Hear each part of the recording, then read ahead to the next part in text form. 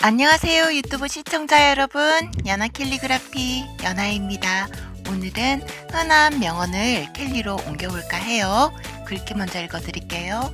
어떻게 하는지를 아는 사람은 일자리를 얻고 왜 해야 하는지를 아는 사람은 윗자리를 차지한다. 이 명언을 캘리로 옮겨보겠습니다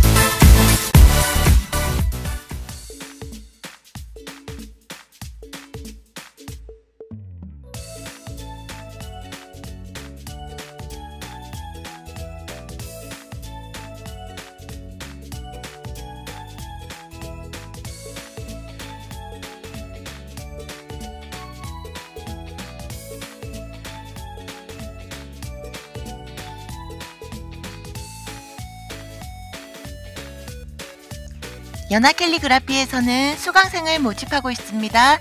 네이버에 연화 캘리그라피를 검색해 보세요. 이 영상이 마음에 드셨다면 구독과 좋아요 부탁드릴게요.